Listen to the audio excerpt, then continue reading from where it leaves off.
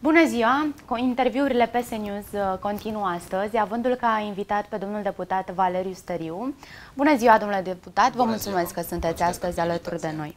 Sunteți inițiatorul unui proiect de lege care a trecut ieri de Camera Deputaților și mă refer aici, uh, care este foarte decizional, și mă refer aici la scutirea de uh, impozite uh, pentru jurnaliști, în rândul jurnaliștilor. Impozitul pe venit, Impozitul pe venit exact. Uh, a stârnit o rumoare. Am văzut în, în Facebook, toate rețelele de socializare, reacții fie de aplauze, fie, fie de contra. Da. Exact. Explicați-ne puțin cum de unde a pornit Sigur. această inițiativă deci, legislativă, când... care, repet, a trecut de Camera Deputaților și urmează să fie promulgată de președintele Claus Iohannis? Dacă o va Dacă promulga, o va promulga sigur. sigur. Uh, este o dezbatere amplă, ceea ce înseamnă că a stârnit interes, ceea ce înseamnă că am atins un subiect uh, pe agenda publică. De unde a plecat această exact. idee? Unul din cei mai buni prieteni ai mei este fost jurnalist acum 10 ani și unul din mari jurnaliști ai acelor uh, ani, cu investigații și cu foarte multe rezultate. Timp de 15 ani a fost unul dintre bunii gazetari, n-am să-i dau numele, dar care acum 10 ani mi-a spus foarte scurt, am hotărât să plec din jurnalism. De ce? Pentru că nu câștig suficient. Pentru că îmi este foarte greu, pentru că nu pot să intru în tot felul de combinații financiare, să semnez pentru niște variante de contracte de drepturi de autor. N-am dat atunci foarte mare atenție, cu timpul însă am început să văd lângă el mulți jurnaliști care au început să plece spre politică sau spre alte domenii. Prietenul respectiv a plecat spre domenii de creație. Am văzut-o pe doamna Firea plecând din jurnalism în politică. L-am văzut pe Rareș Bogdan, pe Robert Turcescu. Uh, mai târziu i-am văzut pe anii trecuți pe actualul purtător de cuvânt al guvernului, Ilie Dancă, uh, Ion, Ionel Dancă. De asemenea, deci sunt foarte multe nume. Moise Guran, Moise Guran zilele trecute. Oare de ce au plecat toți? Bun, deja când ultimii au uh, plecat din presă, eram cu o documentare foarte solid făcută. Am vrut să văd cum și în ce fel pot fi ajutați jurnaliștii și vă spun sincer, a fost o inițiativă personală la acel moment uh, de a o documenta. Am descoperit că sunt state în Europa care au facilități pentru jurnaliști. În Olanda, în baza unui agreement, uh, pot fi scutiți de TVA. Sunt foarte multe situații de scutire de impozite în Grecia.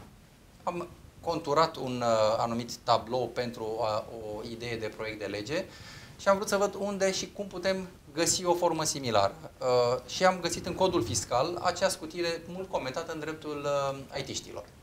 Mai departe, mergând cu documentarea, am început să observ competiția absolut neloială pe care o fac știrilor în clipa de față, acele știri de multe ori chiar uh, dubioase, din online. Din, fake uh, news-urile. Fake news-uri care de foarte multe ori atât de ușor se nasc printr-o postare pe Facebook sau pe alte conturi de socializare. De multe ori nu scrise de jurnaliști, dar care prind și care se duc și se rostogolesc și este mult mai greu să le, să le anulezi. Nu poți să scrii o lege anti-fake news, am documentat și acest subiect, am văzut că doar în Singapore s-a încercat și chiar și acolo au, au eșuat.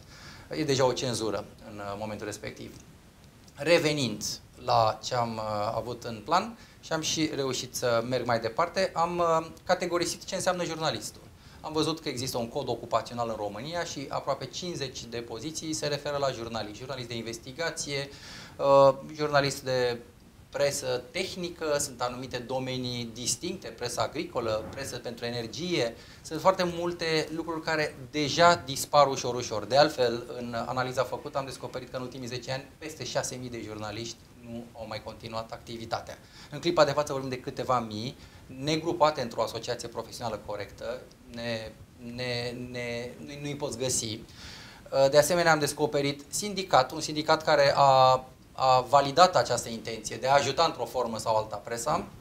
Toate acestea puse cap la cap au, au generat o modificare a codului fiscal, în care am spus că atât ceea ce înseamnă contract pe drept de autor, cât și contract de muncă, poate într-adevăr acel 10% care este impozitul pe venit, statul să renunțe pentru o vreme, nici măcar nu e vorba de o chestie definitivă. Dar v-ați consultat și cu alți jurnaliști? Foarte mulți jurnaliști da? și credeți-mă că de dimineața până seara, atât în Parlament cât și la Guvern, jurnaliștii acreditați stau 16 ore de dimineață până seara alături de noi, încercând să obțină o informație. Sunt mulți jurnaliști juniori care stau efectiv la limita Uh, de contract minim pe economie și aproape toți mi-au zis și permanent mă întrebau cum evoluăm.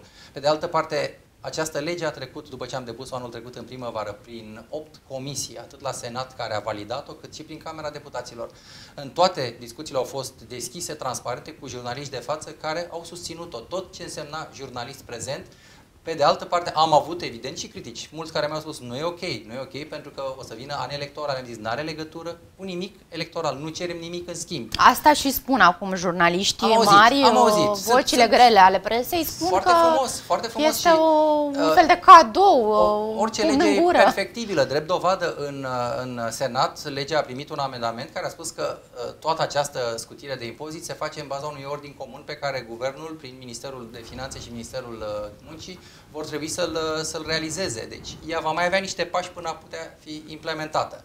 Dar uh, mai mult sau mai puțin am rămas și eu surprins că 170 de parlamentari din multe partide au spus da la votul final din Camera Deputaților, după ce o majoritate solidă în Senat de asemenea a spus da.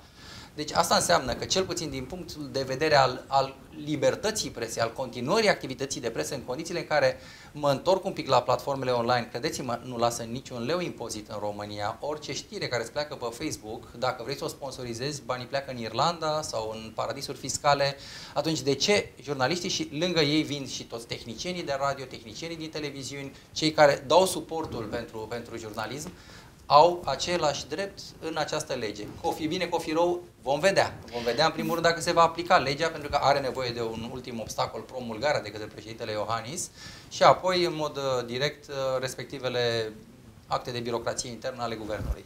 Vă spuneam și înainte să începem acest interviu că mulți dintre jurnaliști și pe bună dreptate aici, că și eu sunt jurnalistă de altfel și mă confrunt cu această situație, Uh, spun faptul că uh, problema este că noi nu avem acces de multe ori la informațiile de interes public, acea bine cunoscută lege 544 și că aici ar fi una dintre problemele mari cu care se confruntă Sigur. presa eu, din România. Eu, eu sunt comis, aici vorbim de o modificare a codului fiscal pe care am făcut-o. Sunt și multe alte elemente de consolidare Vă gândiți să aduceți și alte îmbunătățiri acum am deschis uh, această cutie a Pandorei da. și vă spuneam că pe 544 de câte ori am fost întrebat, am răspuns chiar prompt, pentru că știu că mai Nu este, din păcate, târziu. și cazul altor colegi ai dumneavoastră. care, da. într-adevăr, temporizează, am văzut și eu 30 de zile, dar, în final, tot trebuie să răspunzi. Iar în fața tăvălugului presei, nimeni n-are, nimeni, niciun politician n-a câștigat un război cu presa, dacă stăm să ne uităm. Tocmai de aceea, cred că și 544 poate fi îmbunătățit și poate fi, într-adevăr, prestigiul și locul jurnalistului consolidat pentru că este a patra putere într-un stat și este nevoie de, de o presă liberă, independentă, cu care să asigure transparența informației și, în primul rând, corectitudinea. Ducem lipsă și ne bucurăm să vedem oameni care se bat pentru o calitate a informației scrisă corect, în competiție cu atât de mulți purtători de informație ne, neavizați, care astăzi au aceeași libertate de a posta pe, pe o platformă online uh, Uh, scutită de orice fel de taxe.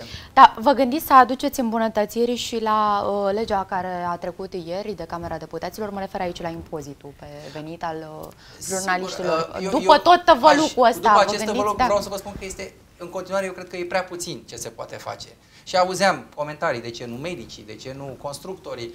Vă spun că toți constructorii în clipa de față, prin ordonanța 114, peste un anumit nivel încep să plătească impozitul pe venit. Și asta poate puțin au comentat agricultorii cu care am colaborat toți acești ani uh, sunt la rândul lor binecuvântați de un sistem de subvenții, sunt politici fiscale menite să îi consolideze și să contribuie la această activitate atât de dificilă. Deci dacă am pentru anumite activități, anumite, n-aș spune privilegii, niște facilități fiscale, nu doar România le oferă, atunci de ce să nu le, să nu le punem?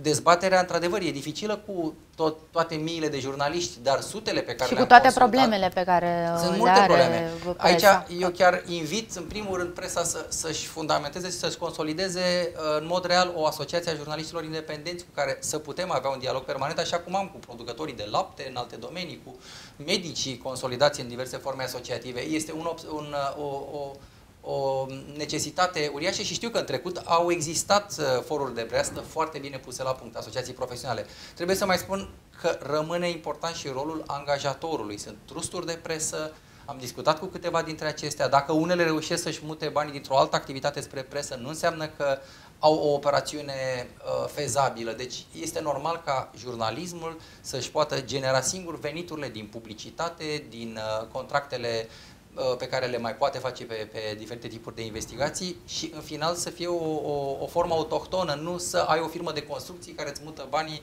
într-o firmă de, de publicistică sau alte, alte astfel de, de aranjamente.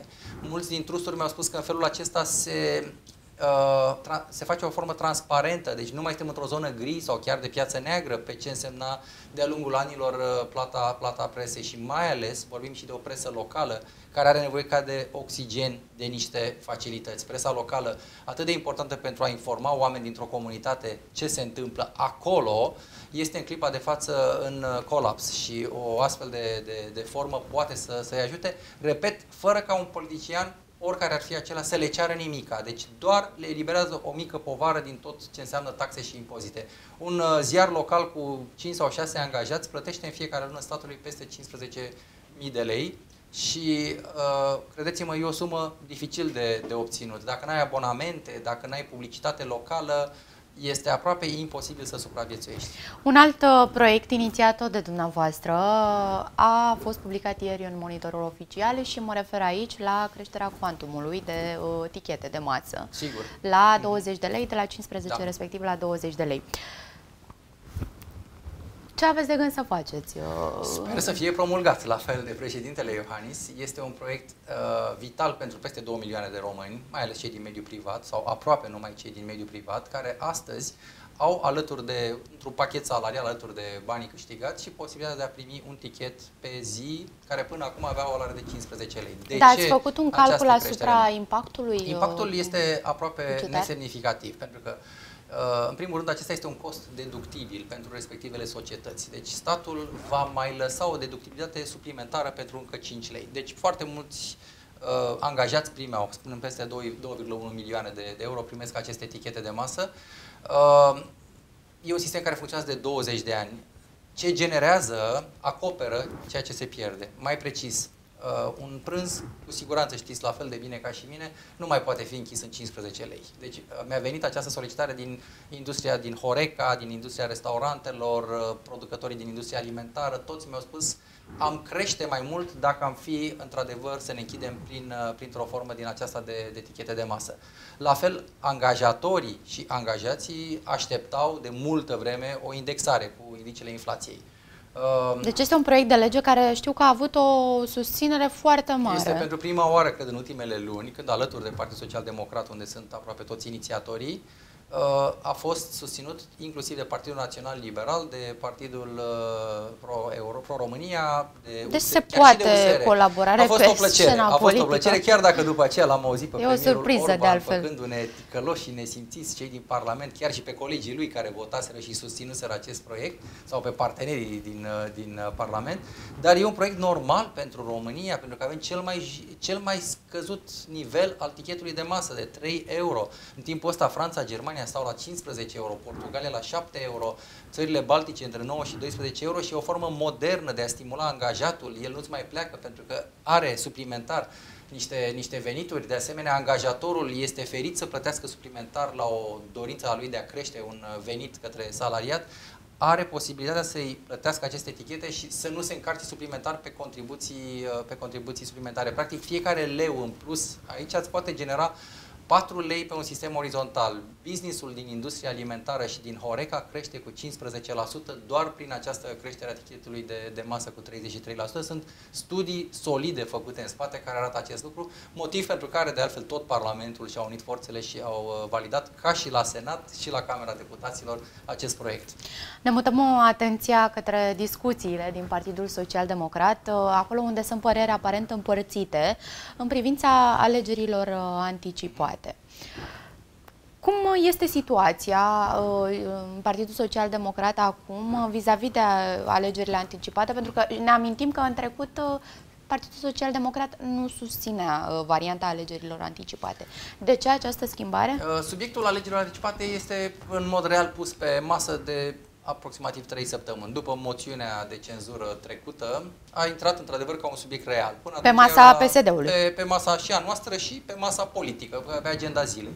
Uh, până acum doar se vorbea de o intenție pe care PNL-ul o aruncat din când în când, bazându-se pe un uh, succes electoral al președintelui Iohannis, în niciun caz al PNL-ului, care la ultimele alegeri a avut 27%, ceea ce nu îi poziționează atât de, de sus cum este președintele. Dar uh, în ceea ce înseamnă PSD, evident, este normal să fie o dezbatere aprinsă, intensă poate tocmai asta dă culoare partidului nostru, că lucrurile de multe ori sunt uh, izvorăsc și în afara partidului, opinii, uh, păreri și de această dată la fel. Foarte mulți care spuneau nu-i momentul, alții care spun poate acum este momentul. Cert este că am avut o primă, o primă discuție solidă săptămâna aceasta în Comitetul Executiv și uh, au fost, uh, să zicem așa, în primă lectură uh, discuțiile pe, pe acest subiect. Foarte multe opinii general a fost opinia că nu ne este teamă de alegeri anticipate. Mergem în alegeri anticipate oricând și posibil să le și câștigăm. S-a dat un vot pe Nu s-a dat un vot, s-a amânat o decizie pe acest subiect, pentru că simultan au fost depuse contestațiile la Curtea Constituțională și întâi așteptăm să vedem o opinie dacă reinvestirea guvernului Orban este sau nu constituțională. Uh, în același timp, uh, nu dorim să arătăm o tărăgănare sau o dorință de a bloca zona politică, am spus, mergem în audieri în uh, comisiile din Parlament până vine un răspuns al uh, Curții Constituționale. Uh, între timp s-a mai programat un alt CEX, probabil săptămâna viitoare, în care vom avea mult Acolo mai, veți avea un vot? Mult mai, mult mai amplu, mult mai profund, pentru că prima opinie rezultată de la majoritatea celor din, din Comitetul Executiv a fost că am putea merge în anticipate simultan cu alegerile locale. Adică în aceeași zi? În aceeași zi. Este o formă să spunem, prin care și facem economii, adică în ziua de astăzi o rundă de alegeri deja costă 280 de milioane de euro. Banii obținuți prin această economie pot merge în creșterea pensiilor din toamnă sau în alocațiile copiilor. Ehm, deci avem această variantă de lucru, o vom consolida probabil în următoarea ședință de comitet executiv și ca un partid disciplinat o vom, o vom uh, duce la capăt și cred eu că vom și câștiga și alegerile locale și cele generale. Președintele sectorului 1, domnul Dan Tudorache și primarul sectorului 1 susținea ieri pentru PS News că nu este de acord cu această variantă pentru că uh, bulversăm, uh, bulversăm electoratul, uh, spunea dânsul. Da, este o opinie și, și aici suntem uh, cu păreri împărțite, într-adevăr. Când Sunt mai mulți în de aceeași părere în PSD? În, în toată țara cu șase buletine în fața alegătorului, când construiești, până la urmă, anumite secții pentru a număra la locale pe un anumit tip de specific și de raportare și cu totul altfel la parlamentare, când vei avea partide mai micuțe care n-au cum să-și pună o listă completă de candidați și de consiliu, și de primar, și de senator, și de deputați la nivelul unui județ, generează confuzie și generează dificultate, în special pentru, pentru partidele mici. Și îi împărtășesc teama domnului Tudorache că pot confuziona electoratul, mai ales dacă nu venim cu o pregătire suficient de bună în perioada campaniei electorale. Vom vedea săptămâna viitoare cum se așează lucrurile și pe partea răspunsului din partea Curții Constituționale, care înțeleg că pe 14 februarie are deja o primă analiză a acestui subiect, a acestui uh, conflict instituțional între președinte și Parlament iar mai apoi vom acționa în consecință. Dar este o decizie a CCR din 2012 care spune că anticipatele nu pot fi organizate concomitent cu alegerile locale. Da, am uh, studiat-o. A, a luat în calcul PSD această decizie? Știu despre această decizie. La prima discuție s-a spus că vrem așa, în aceeași zi locale și anticipate. Evident, dacă această decizie este în clipa de față la fel de clară și de răspicată, pentru că ea se referea la faptul că e dificil ca un candidat să fie și pe o listă de primar și pe o listă de, de deputat. În Constituție nu se specifică foarte clar acest lucru, dar e un obstacol în mod real și gândiți-vă, cum spuneam mai devreme, despre unele partide mici, dacă ai un candidat la primărie care îți pierde aici, dar e pe listă la Camera Deputaților, generează un întreg recul, generează și o anumită confuzie, cum spuneam, la nivelul alegătorului, dacă pe X îl pune primar sau deputat. Deci sunt multe semne de întrebare. Tocmai de aceea o, o analiză solidă urmează să fie, să fie făcută. Știm că va avea loc și un congres al Partidului Social Democrat. S-a stabilit o dată la care va avea loc acest congres? S-a propus o dată, chiar duminică, în uh, ședința Organizației Municipiului București, uh, doamna primar general Gabriela Firea a propus 29 februarie, o dată pe care noi am mai avut-o anunțată în uh, trecut. E nevoie tot ca CEX-ul să stabilească momentul în care toate propunerile de modificare pentru actualul statut al partidului care intră și ele în validare în Congres în momentul în care aceste propuneri sunt finalizate în a fi strânse și, și finisate pentru a fi propuse în Congres, este posibil și 29 februarie, așa cum s-a anunțat în multe rânduri. Uh, ultima întârziere a venit la momentul moțiunii, când s-a stabilit că după ce trece moțiunea și intrăm într-o anumită logică, avem uh, linie dreaptă și spre organizarea congresului. Deci, practic, ar mai fi două săptămâni uh, în mare până la da, congresul. cel mai devreme va fi 29 februarie. Și nu avem un candidat pentru președinția partidului. A fost propunerea organizației municipiului București în uh, persoana domnului Marcel Ciolacu, a mai fost uh, domnul Paul Stănescu propus ca secretar general. Propuneri sunt. Rămâne acum, într-adevăr, ca cei, ca cei doi să, să ia să, și o decizie. ia deciziile și să, să le confirme. Din momentul acela, într-adevăr, să vedem uh, da, din punctul dumneavoastră de vedere ar trebui să candideze Marcel Ciolacu la să ia în considerare varianta asta? Este actualul președinte interimar și este un președinte curajos. Deci, într-un moment dificil al partidului, a hotărât și a avut toată susținerea echipei și, pe de altă parte, a pornit cu dreptul. Până acum avem doar victorii. Am reușit o moțiune de cenzură să treacă cu succes. Uh, chiar a fost poate prima oară când am avut 100% voturile în Cameră și Senat din partea parlamentarilor PSD. E o performanță pentru orice partid. Uh, de asemenea, are un uh, mod democratic de a conduce în clipa de față partidul nimeni nu e perfect, dar în clipa de față este candidatul cu cea mai bună așezare și îl, îl susținem foarte mulți în, în această perspectivă, făcând și o echipă foarte bună cu Paul Stănescu, secretarul general. Cât de mult s-a schimbat Partidul Social Democrat uh, după uh, Viorica Dăncilă? El se schimbă permanent, el are, e un partid viu, e un partid în care se nasc... E un partid mai democratic, aș spune acum, cu domnul Ciolacu? Să știți că a fost și, a și, fost în, și în vremea lui Viorica Dăncilă un partid democratic, chiar și în vremea lui Liviu Dragnea, cu toate pierderile care le-am uh, văzut, uh, de câte ori existau opinii în contradictoriu. Unii plecau, alții erau excluși. Uh, e un partid în care s-au spus întotdeauna pe față lucrurile, nu s-au mers pe la spate cu, cu diverse planuri, iar după um, Uh, plecarea doamnei uh, Viorica Dăncilă, pot să spun că foarte mulți tineri au prins curaj și sunt în clipa de față foarte prezenți. Probabil că și dumneavoastră ați avut comunicatori proaspeți, noi din, uh, din cei din Parlament în primul rând, pentru că actuala echipă din Parlament este formată din foarte mulți tineri la primul mandat. Iată că după 2 ani și jumătate au prins curaj, au prins experiență și pot într-adevăr să iasă în bătălii și mă bucur foarte mult să văd chiar zeci de colegi dornici să meargă și să participe în confruntări, în uh, teren, uh, campaniile ultimele două, chiar dacă nu au fost uh, răsunătoare ca succes pentru noi, au format în continuare acești, acești tineri. Eu mă bucur că vine din spate o, o echipă solidă și foarte unită. Foarte unită, uitați-vă doar la liderul nostru de grup, la domnul Alfred Simonis, care zi de zi ne surprinde în mod foarte plăcut prin ieșirile, prin pozițiile pe care le adoptă și prin felul în care conduce. De când este lider de grup, uh, aproape toate proiectele noastre de lege au avut suficiente voturi, le-a negociat foarte bine și cu partenerii din Parlament, deci este un mandat de succes. Lângă el Vasile Suciu, Daniel Suciu, fostul ministru al dezvoltării, mai sunt și alți tineri, nu are rost să uh, Florin Manole, deci aproape toți sunt undeva până în 35 de ani. Da, apropo de tineri, mi-amintesc că venise în uh, studioul, chiar într-un interviu la Puterea Știrilor, uh, Victor Negrescu, un tânăr social-democrat, da. actualmente europarlamentar. Deja un tânăr cu multă experiență. Cu multă experiență, da. da, care spunea că PSD ar trebui oarecum să-și îndrepte atenția către tineri și uh, să-i facă să vină, să se implice în politică, de ce nu, alături de Partidul Social Democrat.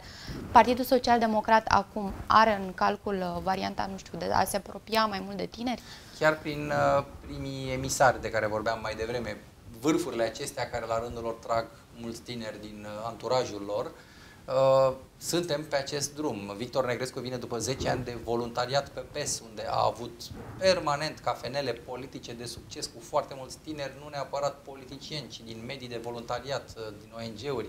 Uh, și a spus-o foarte bine ei sunt probabil viitorul partidului. Deci uh, toți acești tineri în următorii ani vor demonstra o renaștere, aș putea spune, după ultimele două înfrângeri în uh, campaniile electorale, vom avea o renaștere care se bazează în primul rând pe acești tineri. Foarte multe organizații au schimbat din mers președinții, lăsând respectul seniorilor. Uitați-vă la organizația de la Olt, unde Paul Stănescu este respectat și a rămas într-un, uh, într-o zonă centrală, dar Marius Oprescu a devenit președintele organizației după un rodaj foarte bine făcut în, în fruntea organizației din, din Olt. La fel, Timișu și-a ales un nou președinte foarte tânăr. Sunt foarte mulți tineri care acum, la acest moment dificil, preiau organizațiile și veți vedea rezultate foarte, foarte bune în, în scurt timp.